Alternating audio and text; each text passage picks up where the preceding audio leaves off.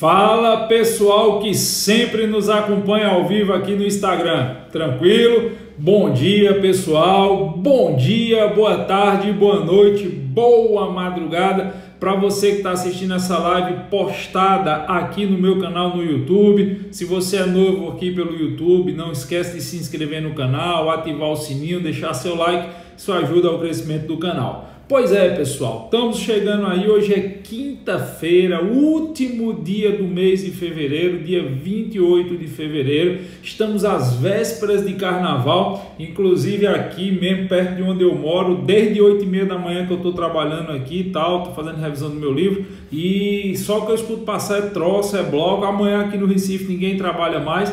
E nessa véspera de carnaval, na verdade, essa semana que antecede o carnaval, eu recebi é, algumas mensagens, algumas perguntas que me foram feitas por alunos que já são é, é, é, das forças de segurança pública do, do ente administrativo, policiais militares, policiais civis, guardas municipais, me questionando sobre como deveria ser o procedimento em relação ao crime hoje tipificado no artigo 215-A do Código Penal. De novo, artigo 215-A, que é o crime de importunação sexual ofensiva ou importunação ofensiva, como algumas pessoas chamam genericamente. Por quê?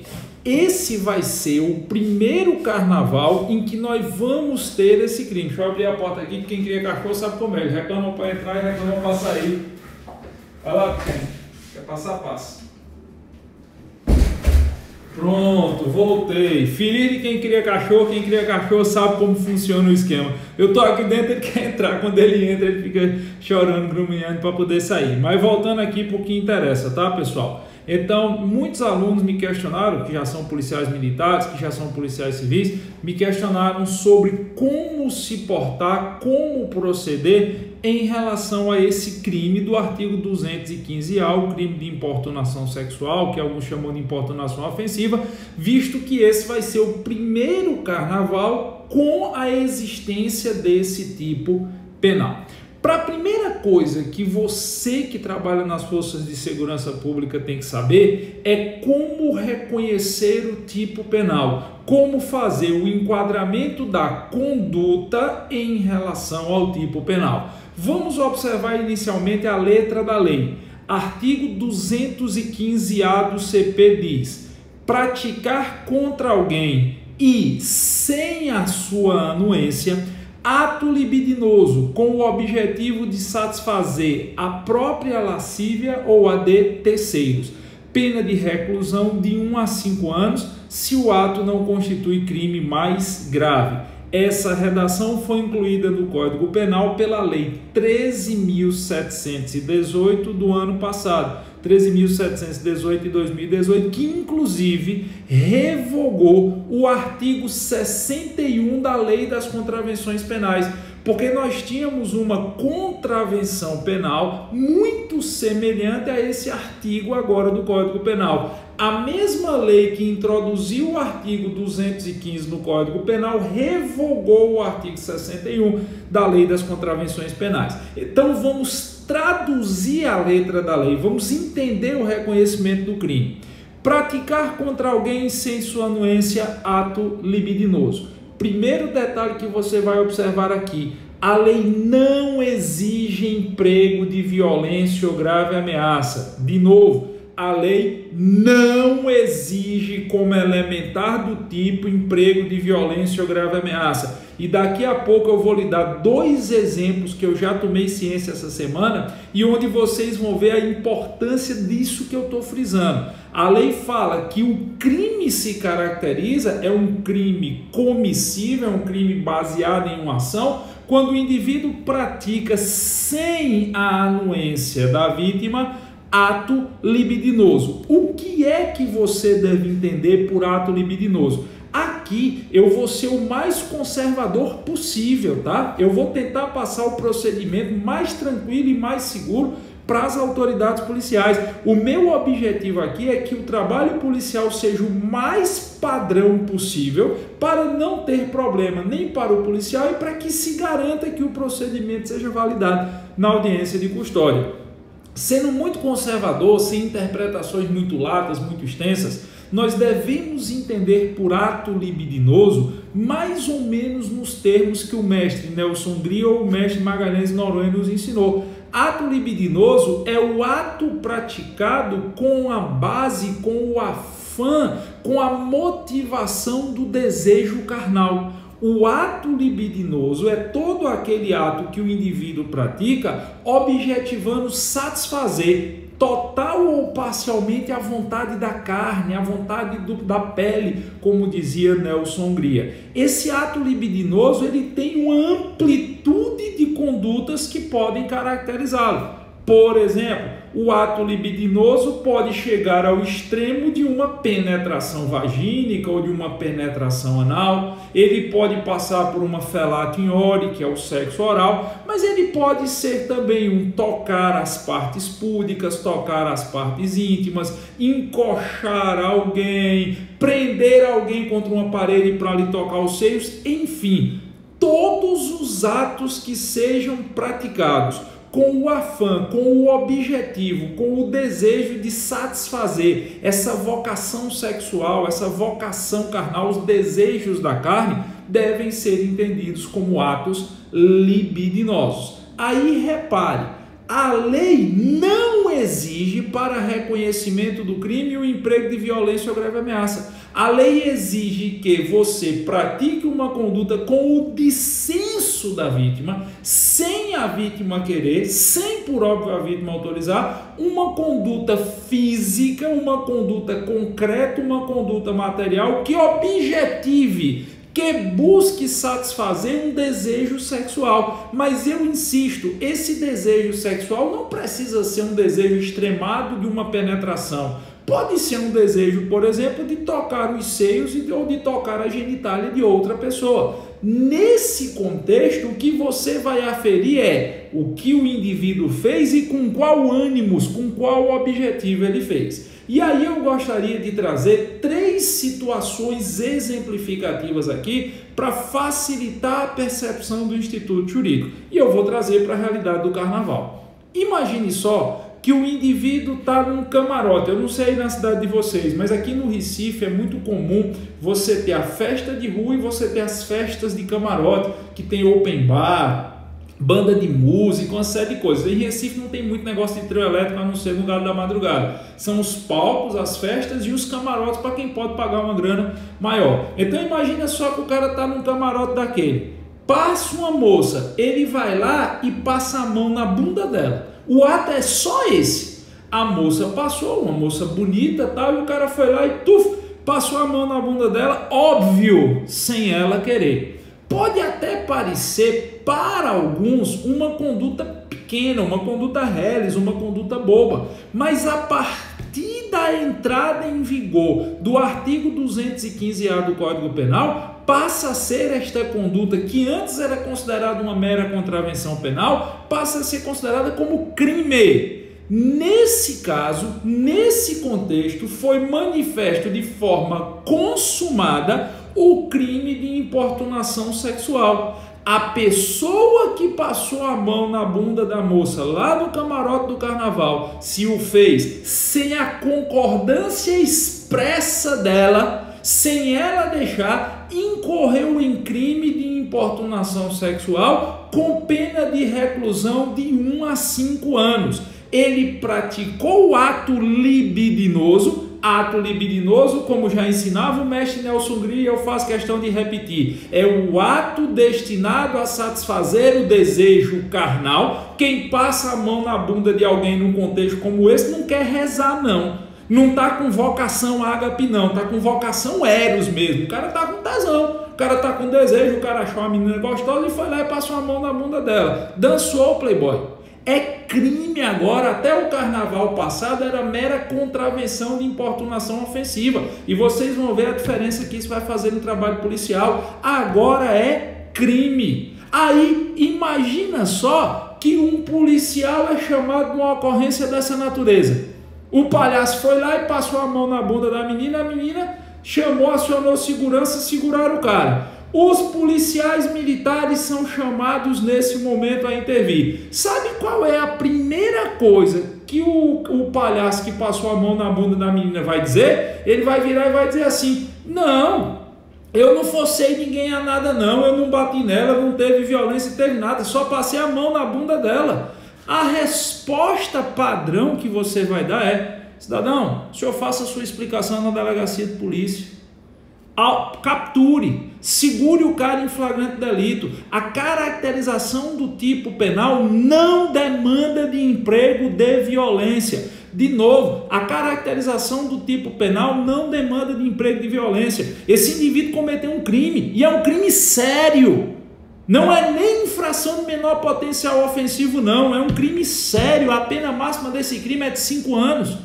Ele está em situação de flagrância. Ah, Giovanni, a PM chegou depois que ele tinha passado a mão na bunda da menina. Tá lá ele, a moça, as testemunhas, mas o policial militar não viu ele passando a mão na bunda. Não tem problema. Ainda assim, a captura em situação de flagrância pode acontecer na hipótese de flagrante próprio do artigo 302, inciso 2 do Código Penal. O flagrante próprio se dá quando o indivíduo é capturado praticando a conduta delituosa ou então quando ele acabou de praticar esta conduta. E leia-se, acabou de praticar quando ele, já fim dos atos executórios, ainda se encontra no mesmo local, na mesma casuística, na mesma circunstância. Então, você, policial militar que está empenhado na ocorrência, ao chegar no local, se você se depara com o indivíduo, com a vítima, com as testemunhas, com a confusão formada e tem testemunha do fato, você tem o dever jurídico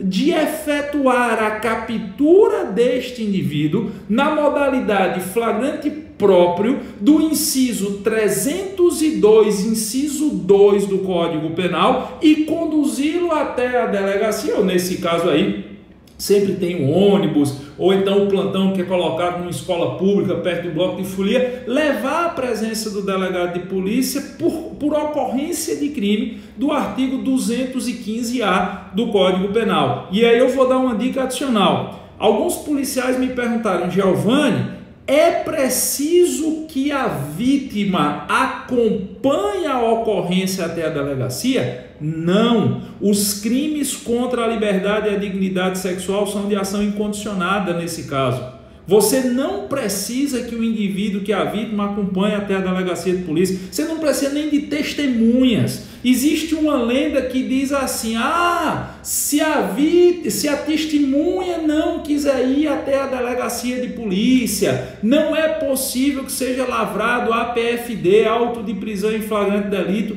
é, é, é, é, contra o indivíduo, não é possível que seja praticado, lavrado APFD contra o agente. Isso é besteira, pessoal. Pelo amor de Deus, isso é besteira. Primeiro, os crimes sexuais hoje são de ação penal pública incondicionada. Cuidado que ainda tem muita gente dizendo: ah, crime sexual é de ação condicionada à representação. Não é. Isso foi no carnaval passado, mas isso mudou no Código Penal em decorrência, pegar o número da lei aqui, da lei 13.718. Se a mulher que passaram a mão na bunda dela não quiser, que é a vítima, não quiser acompanhar os policiais até a delegacia de polícia, não tem problema. A caracterização da lavratura do APFD vai poder acontecer da mesma forma. A autoridade policial não precisa da autorização da vítima para instaurar o procedimento.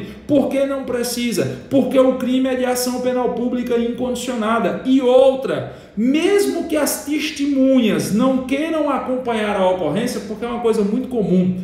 A, a pessoa que testemunhou esse fato, ela não vai querer sair, por exemplo, do camarote, por isso que eu dei o exemplo do camarote, para ir para a delegacia. Que ela pagou ali 400, 500 conto para estar tá naquele camarote. Tu acha que ela vai querer perder o dia dela de carnaval para ir acompanhar uma bronca dessa até a delegacia?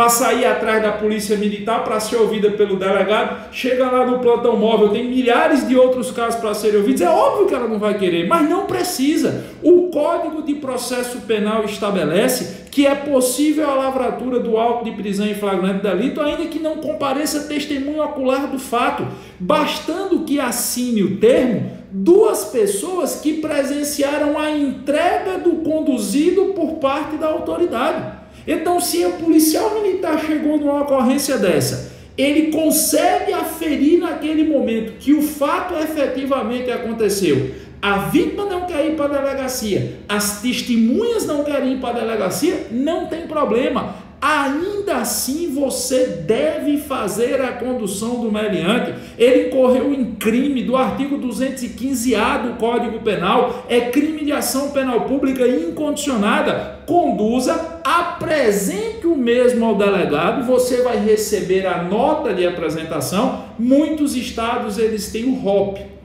Muda a sigla, mas a regra é o ROP, que é o relatório de operações policiais. É importante que o policial militar tenha o recibo de entrega do conduzido e para alguns estados você anexa ao ROP. Nos outros estados o recibo é encaminhado ao CIODES e por aí vai. Depende do procedimento de cada estado. Mas é importante que o policial militar receba esse recibo de entrega do conduzido e esse recibo deve constar se as testemunhas foram ou se tem testemunhas que presenciaram a entrega do conduzido. Ok? Vamos dar um outro exemplo agora. Eu disse que eram três. Vamos dar um, um segundo exemplo.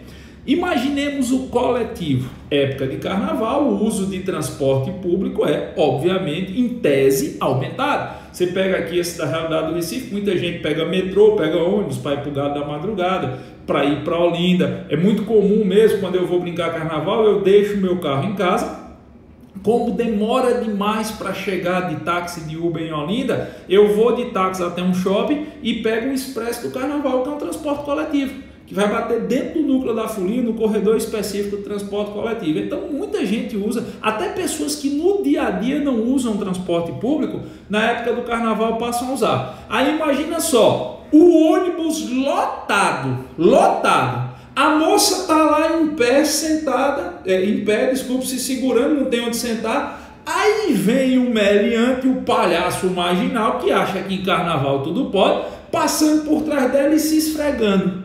Intencionalmente. Porque tem hora, bicho, que não tem o que você fazer. Mas se ficar claro, se ficar patente que o cara está ali se esfregando, ele está cometendo crime. É o que antigamente a gente chamava de encoxador de ônibus. Até o carnaval passado era contravenção penal. Agora é crime. Esse negócio do cara intencionalmente para satisfazer o desejo da carne, se aproveitando do coletivo lotado para ficar ali praticando um ato libidinoso, se esfregando numa mulher, por exemplo, caracteriza crime do artigo 215-A. Qual é o procedimento? A mulher na hora na hora, eu, no lugar dela, recomendo o ônibus lotado, o cara não vai fazer nada com ela, que ela grite, que ela deu alarme. O condutor do veículo parou, primeira guarnição da polícia militar que ele vê, o condutor do veículo parou, o que é que o policial militar tem que fazer? O policial militar sobe, são duas portas do ônibus, o procedimento é padrão, um fecha uma entrada, outro fecha a outra entrada, o terceiro policial sobe, retira o meliante de dentro do veículo, do veículo, do, do transporte coletivo. Se alguma das testemunhas quiserem acompanhar, acompanha. Se a vítima quiser acompanhar, acompanha. Se não quiser, leva do mesmo jeito porque esse indivíduo incorreu em crime do artigo 215-A. Ele encontra-se em notória situação de flagrância. A condução não só pode, como deve acontecer. E eu vou dar uma dica. É, época de carnaval, na verdade, na rua, quando você tem muita aglomeração, dependendo principalmente do local onde você esteja trabalhando, sempre aparecem os especialistas em direito. E eu digo para todo aluno meu que é policial militar que trabalha na rua: rua não é lugar para você discutir direito. Se você cair na besteira de querer discutir direito com gente que está aloprando no meio do mundo, você corre um sério risco de se destemperar. E tudo que o meliante quer é destemperar o policial. Tudo que o meliante, quer, fala já da questão do beijo. É o terceiro exemplo. Tudo que o meliante quer é que o policial militar se destempere. Meu amigo, para você basta você ter ciência que sabe reconhecer o crime e você ter ciência que a sua abordagem foi feita dentro do procedimento padrão do emprego da força. Lembre-se aquela escala progressiva de emprego de força que vocês aprenderam lá no Cefap, lá no CFO. Primeiro você mantém a presença no local ostensiva. Não foi suficiente para inibir a verbalização. Não foi suficiente um toque no ombro, no braço do indivíduo. Até se necessário for o emprego de tonfo, o emprego do spray de pimenta, o emprego do, do elastômero e por aí vai. Use o emprego progressivo da força e tenha segurança no reconhecimento de crime, que você não precisa estar tá justificando nada. Deixa o meliante cantar de canário na ocorrência, deixa ele ficar reclamando e citando a Constituição Federal e citando o Código Penal. Não cabe a você esse tipo de discussão. O que cabe a você, policial militar, para poder desempenhar suas funções é reconhecer o crime, efetuar a captura e deixar o cara lá falando só. Se você cair na besteira de querer argumentar com ele, você vai estar perdendo tempo paciência com o meliante. E já basta as broncas que o carnaval gera para o policial que está na rua. Efetuada a captura, é feita, obviamente, a condução e a apresentação à delegacia de polícia. Aí vem a questão do beijo lascivo, para que depois eu fale o procedimento da delegacia para o pessoal que é policial civil. Vem a questão do beijo lascivo, que o pessoal antigamente chamava de beijo de micareta ou beijo forçado. O que é o beijo lascivo? Imagine só, nas ruas, sei lá, um bloquinho no Rio de Janeiro. Cordão da Bola Preta, que é um dos blocos mais famosos do Rio de Janeiro. O cara tá lá, o palhaço tá lá, a menina passa. Ele vem, segura ela e dá um beijo na boca. O beijo lascivo caracterizaria crime de importunação sexual? Sim. Caracterizaria sim. Até o ano passado, o entendimento do beijo lascivo é que ele era contravenção de importunação ofensiva. Por quê? Porque até o ano passado, ou você tipificava o beijo forçado como estupro, 213 do Código Penal, ou tipificava como contravenção. Não tinha um crime mediano. Não existia um crime meio entre a gravidade extremada do estupro e a, a, leniência da contravenção de importunação ofensiva. Hoje existe Hoje existe. Cuidado que tem gente citando jurisprudência do ano passado de um período que antecede a alteração do Código Penal. Hoje, o beijo lascivo caracteriza-se como um ato libidinoso.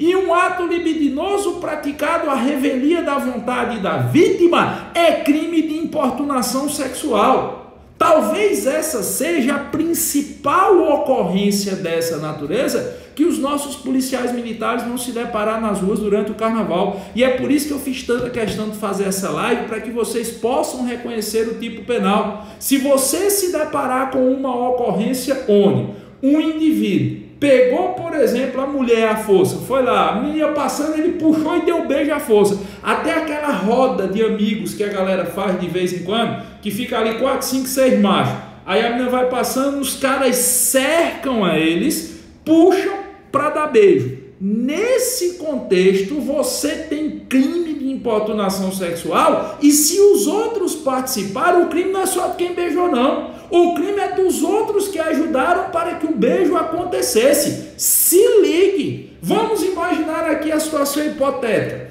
Imagina que tem quatro rapazes que estão ali no meio de um bloco de carnaval. Os quatro rapazes. Aí a primeira moça passa, o cara tenta beijar e não consegue. A segunda moça passa, os quatro rapazes cercam ela. Talvez você que brinca carnaval já vê essa realidade. Os quatro rapazes cercam a menina Lá não deixam ela sair para que um possa chegar e beijá-la. Os quatro cometem crime de importunação sexual. Os quatro são coautores do delito. Por quê? Porque para você ser coautor do delito, você não precisa praticar o núcleo do tipo. Você, para ser coautor do delito, você pode concorrer para que uma outra pessoa pratique o ato libidinoso. É que o artigo 215A, no seu final, diz: praticar contra alguém sem sua anuência é ato libidinoso com o objetivo de satisfazer a própria lasciva ou a lascívia de terceiros. Se você está cercando uma mulher para que um cara do seu grupo beije, você está praticando o ato executório no contexto da conduta principal, o que lhe torna coautor do crime de importunação sexual. Se você que está na guarnição PM passando nessa hora visualizar a cena, a recomendação técnica que eu lhe dou é aborde os quatro e conduza os quatro. Não só o que beijou, os quatro, nesse meu exemplo, devem ser conduzidos, porque os quatro estão em situação de flagrante. Eles estão em situação de flagrante próprio do artigo 301. Eu tenho o autor material principal, que é o que beijou, e os outros que cercaram e não deixaram a menina sair para que ele beijasse são coautores do delito. Então, nesse caso, a casa caiu para os quatro. Os quatro devem ser enquadrados no artigo 215A. E não tem muita conversa, não. Faz a captura e conduz à presença da autoridade da polícia judiciária. Aí você vai me perguntar, Giovanni, mas por que você sempre está dando o exemplo dos homens contra as mulheres? Porque é o exemplo mais comum. Mas é óbvio que o tipo penal não não exige característica específica do sujeito ativo. Isso é crime comum. O sujeito ativo pode ser homem ou mulher pode ser praticado contra um homem ou contra uma mulher. Vamos inverter. Imagine só que um homem pegue outro homem à força para beijar. O crime é exatamente o mesmo. Um homem, é, é, a revelia da vontade do outro, toque a genitália de outra pessoa, de outro homem. O crime é exatamente o mesmo, dá no mesmo. Mesma coisa seriam duas mulheres. Uma mulher beija outra mulher à força. 215A, importunação sexual, não faz diferença. Uma mulher força o homem. Chega lá, o cara está desprevenido, ela vai lá e toca a genitália do homem. A mulher comete crime, o crime é comum. A lei não exige característica específica, nem do sujeito ativo, nem do sujeito passivo do delito. Eu estou dando um exemplo em relação às mulheres, porque normalmente as mulheres que são vítimas dessa conduta. Eu fiz uma postagem no meu Instagram hoje Teve um palhaço que mandou um direct para mim dizendo: Nada, professor, é muito mimimi. A mulher gosta que a gente chegue pegando a força mesmo. Ainda tem muito otário, muito palhaço no meio do mundo que tem essa ideia, que tem essa percepção. Mas essa percepção tem que acabar. E um dos objetivos do artigo 215A é permitir que essa percepção acabe. E esse carnaval, com um excelente trabalho que eu sei que os nossos policiais militares vão fazer na rua, como eles sempre fazem, eu tenho certeza que vai servir de exemplo para os próximos carnavais aquela ideia absurda, aquela ideia obtusa, aquela ideia obsoleta que no carnaval tudo pode, que no carnaval você pode pegar a força, beijar a força, alisar a força, ela vai começar a acabar nesse carnaval de 2019. E quem vai fazer a grande transformação, quem vai começar a fazer a grande transformação social, são os homens e mulheres que compõem as corporações policiais desse país, porque todas as grandes transformações da segurança pública não começam nos gabinetes e não começam nas salas de juízes e promotores, começam na rua, no caos da rua que é enfrentado pelos nossos policiais. Então, senhores policiais militares que vão trabalhar este ano, que vão, que estão escalados para o período de carnaval, principalmente vocês que estão empenhados é, em, em, atuação em áreas de, de grande foco de festejos, de aglomeração de muita gente, vocês têm hoje uma ferramenta jurídica para efetuar a captura e a condução desse tipo de meliante. Antes nós não tínhamos.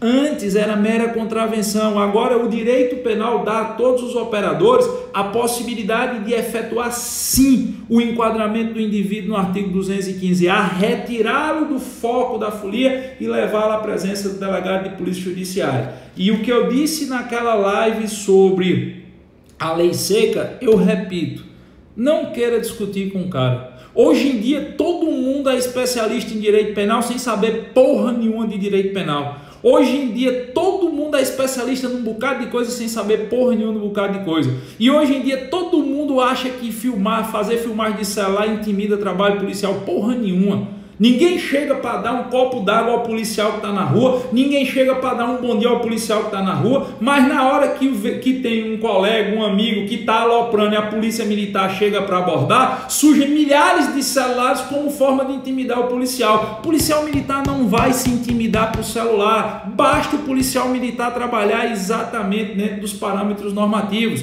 Você hoje sabe que é crime, beleza? Você hoje sabe que as outras mundícias que tiverem ajudando no meliante são coautores do crime. Faça a sua abordagem, use o emprego progressivo da força exatamente como ensinado no curso de formação, faça a condução e deixe quem quiser filmar. Pode filmar, pode botar no YouTube, pode botar no Instagram. Vai ser, na verdade, um elogio ao excelente trabalho policial que você está fazendo. Porque os caras vão filmar, vão zoadar, mas eles não vão ter fundamento jurídico nenhum. Graças a Deus, aquele tempo da lacração, onde o povo chegava, puxava um celular do bolso e ficava intimidando polícia achando que polícia não devia fazer nada, esse tempo está acabando.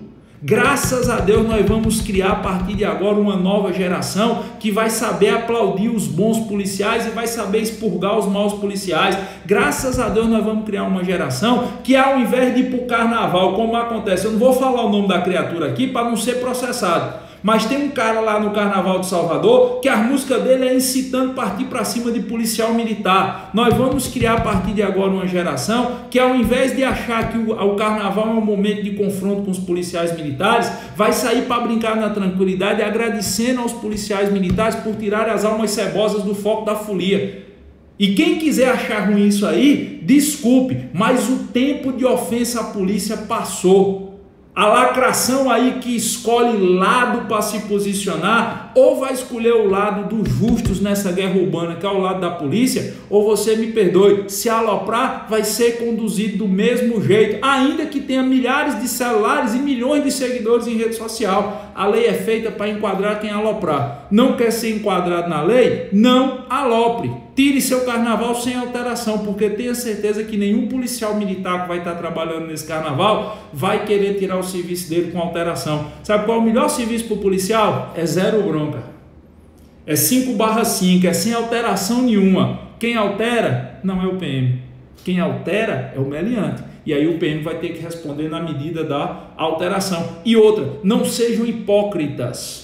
Não sejam hipócritas. Tem gente que quer que o policial militar chegue no foco da folia e distribuindo rosas e palavras de carinho no meio de uma multidão ensandecida. Quando você vê, por exemplo, a guarnição da polícia militar, um com, com a mão no ombro do outro, passando no meio de uma multidão de milhares de pessoas no meio daquela multidão de milhares de pessoas pode ter gente armada de, de arma branca, de arma de fogo, gente cheirada de lança, cheirada de loló, doida de crack, partindo para cima. Quando você vê um policial precisando se impor à força, ao invés de você vir fazer textão em rede social falando mal do policial, se lembre que aquele policial tá de gandola, tá de coturno, tá muitas vezes de colete balístico, tá com equipamento que dependendo do, do, do, do batalhão especializado que ele seja, pode chegar a 20 quilos. Num sol quente da porra, ele chegou lá antes de você e vai sair depois de você.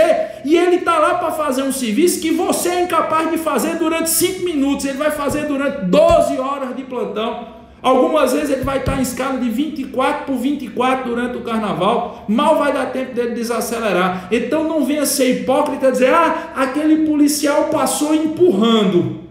E tu quer que ele passe como? No meio de um bando de maluqueiro. Tu quer que ele passe? Cidadão, por gentileza, com licença, o senhor poderia permitir que o destacamento policial militar cruzasse no meio desta multidão? Ele não trabalha. E se a PM não trabalhar, você que está com seu celularzinho na mão criticando o trabalho policial, vai voltar para casa sem ele. Então não sejamos hipócritas. Saibamos ela, é, aplaudir o bom trabalho policial. Ah, mas que tem policial ruim? Tem. Tem professor que é bandido. Se eu for bandido, sou professor, isso torna todos os professores bandidos? Não.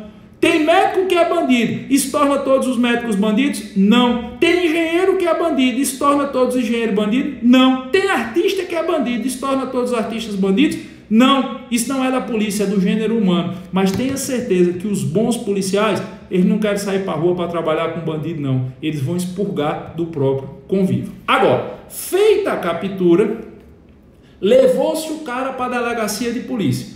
Terminou o trabalho da PM entregou o conduzido, recebeu o recibo. Se no seu estado tem ROP, depois nos comentários, eu não consigo ler agora, mas depois nos comentários vocês me dizem como é o nome do, do relatório de operações que a guarnição tem que fazer no estado, porque varia de estado para estado. Se tem ROP no seu estado, não esqueça de pegar o recibo do conduzido, para você poder ter a certeza ali de finalizar a ocorrência, ok?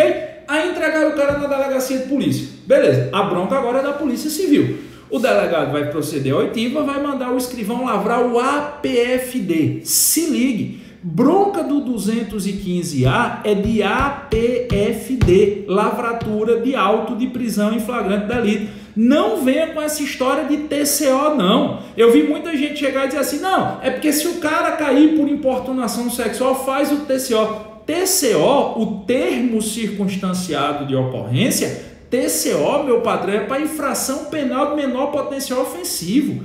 TCO é para os crimes submetidos ao rito da Lei 9099-95.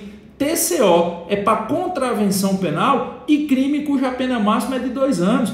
O delito aqui tem pena de 1 a 5. Não cabe TCO. Quando mesmo for entregue à delegacia de polícia, é de lavratura de APFD, auto de prisão em flagrante. E lembre-se de um detalhe de ordem técnica, senhores policiais civis.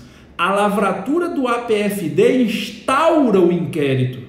Eu vejo algumas pessoas dizendo, não, porque lavraram o APFD, mas depois o delegado vê se baixa a portaria. Não tem que ver, não. Se foi lavrado o auto de prisão em flagrante delito, o inquérito está instaurado. Então, quanto mais minuciosa, eu sei que é difícil, eu sei que plantão de delegacia de carnaval é aquele inferno, aquele apocalipse, mas quanto mais minuciosa for a oitiva de todos, mais fácil será o relatório de conclusão do inquérito policial. Então, lavra-se o APFD, lembrando-se do respeito às formalidades. Quais são as formalidades? Tem que comunicar aos familiares ou pessoa indicada pelo capturado. Não deixe de fazer isso. Na impossibilidade de não conseguir contato com ninguém, consigne por escrito e mande o cara assinar. O capturado em flagrante tem direito a ter a sua captura comunicada aos seus familiares. Às vezes o cara chega e diz assim: ah, não, eu não vou indicar ninguém, não, não sei de nada, não, tem telefone na minha casa, não, para criar dificuldade. O que é que você pode fazer? Se você tem acesso, por exemplo, ao InfoSeg, alguns estados franqueiam o acesso ao InfoSeg, pelo número da identidade dele, você puxa o telefone registrado, às vezes é um telefone fixo.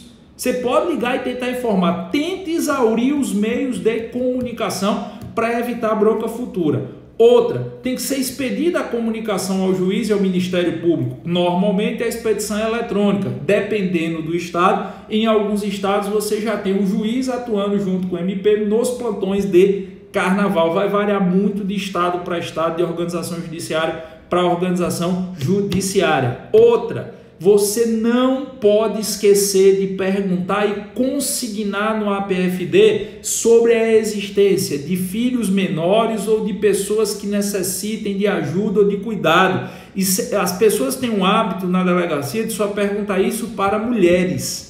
Pergunte para todos os capturados. Às vezes o cara tem uma mãe doente, cadeirante, que ele não se importou de deixar em casa sozinha para brincar o carnaval. Mas quando ele é preso, a primeira coisa que ele vai alegar na audiência de custódia é: olha, minha mãe está sozinha em casa e a arbitrariedade do delegado, a arbitrariedade do escrivão. Então não deixe de perguntar. Não custa nada você fazer essa pergunta a qualquer gênero, masculino ou feminino sobre a necessidade de cuidado especial. Aí vai ter que fazer, rapaz, eu estou com duas crianças pequenas em casa. Você disse, beleza. Vou notificar o conselho tutelar, me dê o contato de uma avó, de uma tia, de um parente para que eu possa comunicar. Se ele se recusar, notifica ao conselho tutelar, mas você cumpriu sua obrigação. E um detalhe: o crime admite fiança, mas a fiança quem vai arbitrar não é o delegado de polícia. Essa fiança só pode ser arbitrada pelo juiz. O cara fica preso até a audiência de custódia, sim. Por quê? Porque nos crimes afiançáveis, a fiança será arbitrada pelo delegado de polícia se o crime tiver pena máxima de até quatro anos. Mas se a pena máxima combinada em lei ao delito for superior a quatro anos, fiança só pode ser arbitrada por juiz. Então, se o cara caiu por importunação sexual, a bronca dele não vai ser resolvida na delegacia de polícia, não. Porque, em que pese o crime ser afiançável, essa fiança só poderá ser arbitrada pelo magistrado. Grave essa informação. Delegado de polícia só pode arbitrar fiança se a pena máxima combinada ao crime afiançável for de até quatro anos. Em situações que a pena máxima prevista em lei ao delito seja maior que quatro, a fiança só pode ser arbitrada por magistrado. A fiança só pode ser arbitrada por juiz. E essa fiança, em regra, varia de 10 a 200 salários mínimos. Giovanni, mas aqui a minha cidade é pequenininha, não tem audiência de custódia. Problema do cara com o judiciário. Problema dele com o advogado dele. O delegado de polícia não vai deixar de autuá-lo pelo fato de não ter audiência de custódia. Bota uma coisa na sua cabeça. Ele teve pena da pessoa que ele abordou na rua? Não. Então haja dentro da lei. A lei diz que o delegado não pode arbitrar fiança nesse caso. Para que, é que o delegado vai estar com pena do indivíduo? Se a lei diz que o delegado não pode arbitrar fiança, lave a PFD, encaminhe o fato, notifique ao juiz e o Estado que se vira, o Estado de direito administrativo, para designar audiência de custódia. Quando não tem uma comarca, faz uma vez por semana em outra comarca, junta três, quatro, cinco dias de uma comarca, o juiz vai para lá para fazer. A bronca não é do delegado. Cuidado, pessoal. Uma das coisas que os delegados acabam incorrendo em equívoco é: ah, porque na minha comarca não tem audiência de custódia, eu vou arbitrar fiança. Só arbitre fiança se a pena máxima do crime for de até quatro anos. Depois disso, só o juiz, até para você não tomar um PAD. Você vai livrar a cara do cidadão e vai se arrombar. Para quê? Com qual objetivo? Quem tem que resolver sobre isso, nesse caso, sobre fiança, se o flagrante vai ser convertido em preventiva, se a ele vai ser imputado medidas cautelares diversas da prisão, é o juiz na audiência de custódia. O que o, delegado de polícia vai se preocupar nesse caso é, por óbvio, com a legalidade do ato. Porque se o ato é legal, se a captura dos policiais militares foi correta, se a lavratura do APFD foi correta, a audiência de custódia só vai vir a coroar o bom trabalho policial. O bom trabalho policial não tem por que temer audiência de custódia, não. O bom trabalho policial não tem por que é, é, é, é, não gostar da audiência de custódia. Porque se o procedimento é correto, a audiência de custódia vai apenas atestar a legalidade desse procedimento. Eu gostaria de dar dois, duas informações aqui específicas é, sobre a atuação do advogado nesse caso. Vocês vão se deparar com conduzidos levados à delegacia que vão chegar com aquele pantinho, vão chegar dizendo assim: olhe, Lincoln, eu não falei que a audiência de custódia deve ser extinta, não. Pelo contrário, Lincoln, eu falei que a audiência de custódia vai coroar o bom e operacional trabalho policial. Foi isso que eu falei. Pois bem, tem alguns caras que vão chegar e vão ser, vão ser levados para a delegacia, aí vão dizer assim: olha, eu só vou ser ouvido pelo delegado quando meu advogado chegar. Às vezes, o plantão da delegacia, pega a Olinda, aqui em Pernambuco, o plantão da delegacia é no meio do foco. Para um advogado sair da casa dele em Boa Viagem, deixar o carro onde arrumar a vaga e subir andando para essa delegacia, ele leva seis horas. Aí o cara tá lá dizendo, não, eu só vou ser ouvido pelo delegado quando meu advogado chegar. Grave essa dica, você escrivão que me assiste agora, você investigador de polícia, você que vai estar tá ali na recepção da delegacia escutando esse show e esse pontinho. O, o procedimento policial independe de assistência advocatícia. O procedimento que o policial vai fazer nesse caso aí de lavratura do APFD pode ser feito ainda que o capturado não esteja assistido por defensor. A obrigatoriedade da presença do defensor só se inicia com audiência de custódia. De novo, a obrigatoriedade do, do comparecimento do defensor, seja o Defensoria Pública, advogado constituído, defensor ad hoc, é a partir da audiência de custódia. O procedimento na delegacia de polícia independe da presença de advogado. De novo, o procedimento na delegacia de polícia independe da presença de advogado. Agora, cuidado, cuidado, não ser necessário é diferente de ser proibido. Se o advogado do indivíduo se faz presente, o advogado tem direito em relação, inclusive, ao que está previsto no Estatuto da Advocacia, no seu artigo 7. É o direito inalienável do exercício da plena advocacia que ele acompanhe a oitiva, que ele acompanhe o procedimento de lavratura do APFD. Perceba, o delegado não precisa esperar advogado para ouvir todo mundo, inclusive o conduzido, e lavrar o APFD. Mas se esse advogado se faz presente no momento da oitiva, o delegado não pode e não deve obstar ao auxílio advocatício. A assistência advocatícia não é obrigatória, mas também não é vedada, também não é proibida. De novo, a assistência advocatícia não é obrigatória, mas não é vedada. Então vamos imaginar o caso do cara escrivão de polícia. Tá lá o capturado botando o bocão maior do mundo. Não, eu só posso ser ouvido quando meu advogado chegar, porque meu advogado está em outra cidade. Sabe o que é que você, escrivão, responde? Cidadão, o senhor vai ser ouvido agora. Se o senhor acha que o ato é ilegal pela ausência do seu advogado, resolva com o juiz na audiência de custódia. Não precisa explicar ele não. Ele não se acha tão especialista em direito, precisa explicar ele não. Faça o seu procedimento. Se ele começar a botar muita banca, o senhor vai responder não. Pronto. O capturado se recusou, após várias indagações, a prolatar qualquer tipo de resposta. O mesmo, você pode inclusive botar no termo da oitiva. O mesmo alegou que era imprescindível a presença de advogado constituído para que a oitiva aconteça. Tá? O presente escrivão informou ao mesmo que a obrigatoriedade da assistência advocatícia não goza de previsão normativa, mas o mesmo assim insistiu. Dando-se dando procedimento, considerou encerrada a oitiva do capturado. Acabou se você consignou. Você deixou claro para o juiz que você tentou ouvir o cara e ele que não quis falar sobre esse pretexto que tinha que esperar o advogado. Não tem. Agora, outra dica. Vamos imaginar o carnaval acontece muito. Tem um grupo de 8, 10 pessoas tem lá o cara aloprou, certo? Cometeu o crime aqui do 215 ou qualquer outro crime, no grupo tem um advogado amigo dele. Ele é conduzido para a delegacia, o amigo advogado vai junto.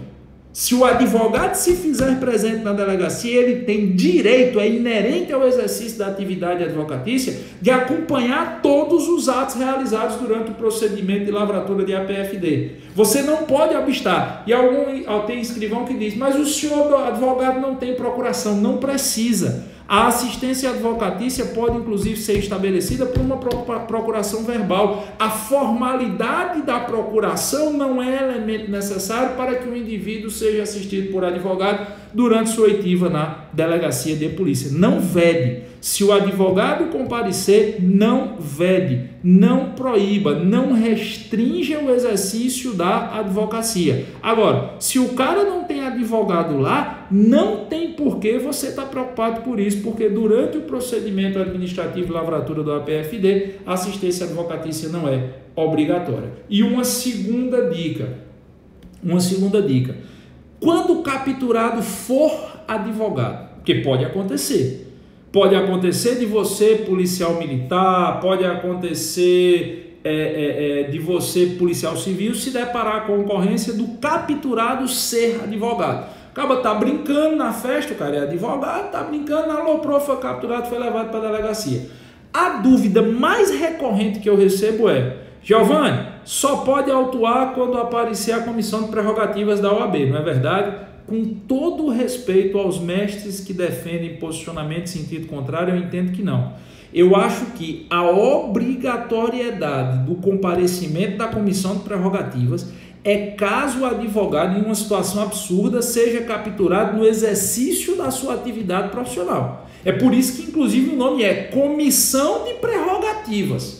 A prerrogativa se exerce no pleno exercício da advocacia. Se o indivíduo está trabalhando, por exemplo, o advogado está trabalhando acompanhando um capturado. O delegado de polícia diz que ele não entra. O advogado não entra. O advogado diz que entra. O delegado de polícia captura o advogado. Tem que ter comissão de prerrogativa. Qualquer procedimento só com a comissão de prerrogativa. Mas se o cara é advogado e está na, na, na, na, ladeira de Olinda brincando carnaval em um momento de folga, se ele aloprar, a sua captura pode acontecer, ao meu sentir, sem a presença da comissão de prerrogativas. Porque ter prerrogativa é diferente de ter imunidade. O fato de você ser advogado lhe resguarda as suas prerrogativas, mas não lhe dá imunidade para a prática de crime fora do exercício da advocacia. Na verdade, a imunidade no exercício da advocacia é limitada. Por que é que você imaginaria que o advogado fora do exercício da advocacia teria imunidade? Então, mesmo eu sabendo que alguns mestres, alguns professores defendem a tese que em qualquer situação a autuação em flagrante delito de um advogado só poderia acontecer na presença de um representante da comissão de prerrogativas, inclusive todas as OABs, ou a maioria, mantém plantão de prerrogativas durante o carnaval. O posicionamento que me parece mais razoável, e todas as vezes que eu sou indagado a esse respeito, eu dou essa orientação aos meus alunos que são policiais civis. O procedimento que me parece mais adequado é se o advogado teve tolhido o exercício da sua advocacia, foi capturado, por exemplo, em flagrante, trabalhando, trabalhando a lavratura de APFD e qualquer procedimento policial só com a presença da comissão de prerrogativas. Porque qualquer ofensa ao livre exercício da advocacia carece da defesa da comissão de prerrogativa da OAB. Isso é lógico. Agora, se o cara não está trabalhando, o advogado está lá brincando carnaval nas ladeiras de Olinda, deu um murro na cara de um policial militar. Aí diz: não, eu só posso ser levado para a delegacia com a comissão de prerrogativa. Não, porque aí ele não está alegando prerrogativa, ele está alegando imunidade, o que não está previsto no Estatuto da Advocacia. Da mesma forma, o cara é advogado. Mas está de folga no carnaval. Pegou a mulher à força, encoxou a mulher no aparelho, a polícia o capturou. Disse: Não, sou advogado, está aqui meu AB. Cadê a comissão de prerrogativa? Eu entendo que não precisa. Eu entendo que a resposta é, doutor, depois o senhor resolva isso na audiência de custódia. O senhor não está no exercício da advocacia, não há comissão de prerrogativa a ser notificada compulsoriamente. É claro que na delegacia, depois de você lavrar o APFD, você informa a OAB. Não custa nada informar a comissão de prerrogativa. Mas o advogado vir com a ideia de que ele é imune a qualquer tipo de captura em flagrante sem a presença da comissão de prerrogativa, me parece uma ideia descabida, com todo respeito, me parece uma ideia obtusa. Porque ao respeito à prerrogativa é no exercício da atividade. Se o cara está de folga, tomando uma na ladeira de Olinda e comete importunação sexual contra uma mulher, qual é a violação prerrogativa que teve? Nenhuma. Então ele pode sim ser capturado. Beleza? Tranquilo? Novo de loja? Vamos embora. Bom, pessoal, eu espero ter ajudado vocês nessa live aí eu espero, sério, depende de por que ele está sendo procurado. A sua resposta vai depender do motivo, tá bom? Aí seria interessante você não comentar, depois manda um direct que eu te respondo para não expor ninguém, ok? Bom, é, eu espero ter ajudado, principalmente aos PMs e aos PCs. Vocês mandaram mensagem, mas eu não consigo ler. É, se o advogado chega na DP de Olinda em 6 horas, imagina a comissão do AB, só na quarta-feira de cinza. Ô Jorge, mas eu vou lhe falar uma coisa, tá? A comissão de prerrogativas da OAB aqui, Pernambuco, principalmente Recife Olinda, é muito atuante. Nós temos um amigo chamado André Canuto, ele é um grande defensor das prerrogativas e na hora que a comissão de prerrogativas farrapar 15 minutos, ele é uma das pessoas que mais vai atuar na comissão de prerrogativas defendendo o exercício da livre advocacia. Então, daqui eu posso falar que a comissão de prerrogativas é muito, muito atuante, mas eu entendi sua colocação e acho bem pertinente. Bom, galera, eu espero que tenha ajudado, certo? Você... Pronto, aí. André, acabei de falar em você aí, André Canuto, tá por aqui, ó. Não morre mais, André. Acabei, acabei de falar em você aí, acabei de fazer um elogio a você na forte defesa das prerrogativas dos advogados e elogiando aqui a atuação da Comissão de Prerrogativas, que quando falha, eu disse que pessoas como você estão lá sempre em cima para a defesa das boas prerrogativas, como eu sempre digo, e não da imunidade. Mas eu fiquei com a dúvida, quem está me assistindo que é PM, no estado de vocês, o como é que chama o HOP? Que eu fiquei com essa curiosidade durante a live, se vocês escreveram aí, eu não desculpe, se tem o relatório de operações policiais no caso de uma guarnição empenhada, tal, e como se chama. Porque eu falei para você anexar o recibo ao ROP, mas pode ser que o procedimento não seja do ROP, beleza? É, Renato Duque, professor, posso conduzir quem está filmando? Não. Filmar não é crime, então você não tem por que conduzir obrigatoriamente, beleza? Caso o advogado não esteja de posse da carteira do AB, ô Hindenberg, mas se ele não está de posse, é só consultar o, pelo, pelo próprio Infoseg ou pelo CDA na delegacia, você consulta isso aí. A, a, a, apresentação da carteira seria um ato formal quando for possível atestar a inscrição nos quadros da OAB por outros meios. Beleza? Pronto, sou de Pernambuco, aqui é IBO mesmo, valeu, Ítalo Oranda. Bom, galera, eu espero que a live tenha ajudado vocês. Meu objetivo aqui nessa live foi esclarecer a quem vai trabalhar no carnaval aos policiais militares, aos policiais civis, aos advogados, aos defensores públicos, enfim. Vocês sabem o meu imenso respeito, o imenso respeito que eu tenho por todas as pessoas que trabalham de forma séria na segurança pública, certo? De forma séria. É, na segurança pública, eu elogio quem merece ser elogiado, elogio a atuação da boa advocacia aqui, representado pelo André Canuto. Essa semana eu conversei com outra pessoa que exerce maravilhosamente a advocacia, que é o ex-presidente do AB do Distrito Federal. Eu fiz até uma live com ele sobre a defesa das prerrogativas. Eu defendo os bons policiais, eu defendo muitos bons policiais, porque eu sei que tem muita gente no meio do mundo aí batendo em polícia sem ter a mínima noção do que os nossos policiais passam. Eu defendo o bom exercício do direito. Eu sei que a gente leva muita pedrada em rede social, porque hoje tudo é o povo da lacração. Não, você tem que ser da lacração. Bicho, eu não sou da lacração. Quem quiser me seguir nas redes sociais não vai me ver com essa história de lacração. Eu sou pela defesa de quem garante e de quem permite que a nossa sociedade funcione. Os bons advogados permitem, os bons policiais, os bons militares. Giovanni, mas os bons médicos sim, os bons professores? Sim, mas eu estou falando como professor de direito penal. Se eu fosse professor de medicina, eu falaria dos bons médicos. Se eu fosse professor de cálculo 1, eu falaria dos bons engenheiros. Mas como eu sou professor de direito penal, eu vou falar das forças de segurança e dos advogados. Certo?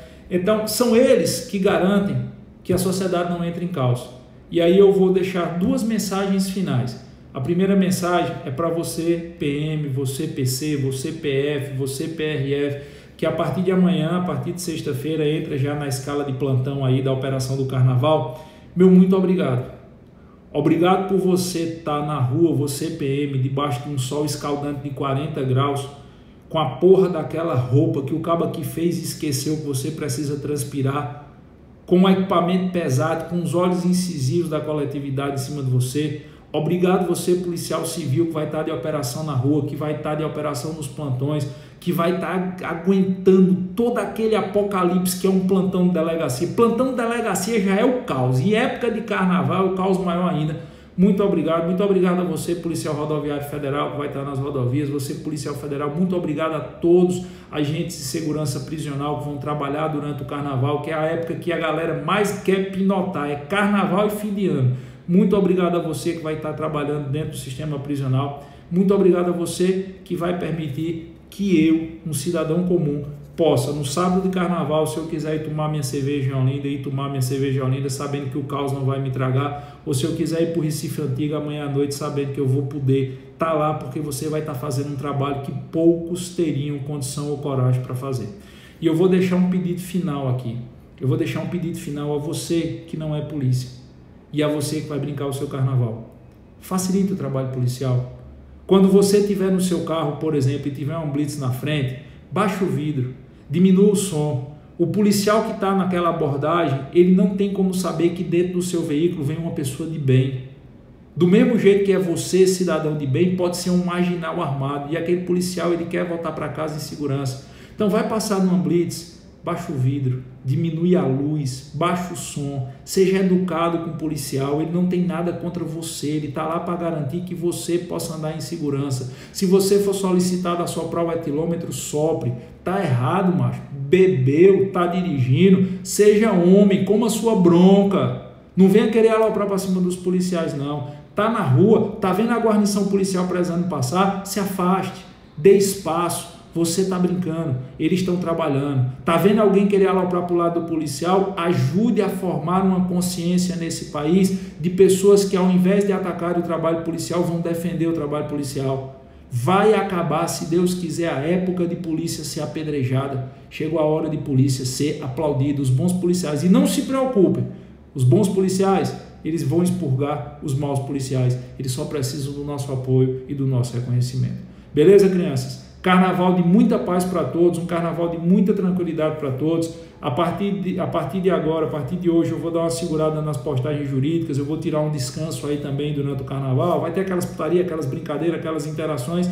E na quinta-feira, depois do carnaval, a gente volta com temas jurídicos aí para vocês. Tranquilo? Se você vê alguém na minha rede, ah, o professor não está mais postando nada direito, diga, ah, o professor avisou na live que vai tirar um diazinho de descanso, que eu também sou filho de Deus. Beleza? Cheiro para quem for de cheiro e um abraço para quem for de abraço.